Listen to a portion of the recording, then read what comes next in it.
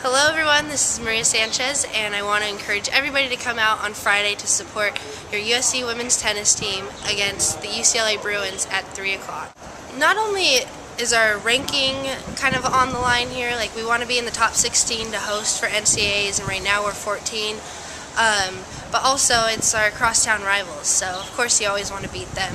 We beat them two years ago to win the Pac-10 championship, so we want to beat them again this year. This is a big match, and um, we're all kind of looking to beat the Bruins, so you know we're excited. You could get some fans out. Is that important? Yes, that's very important. We need fans. Um, so, Maria, what has contributed to your success since your freshman year?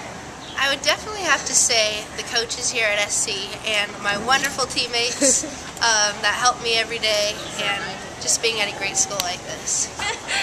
okay. So, Ali, what's Maria. your favorite part about being a Trojan?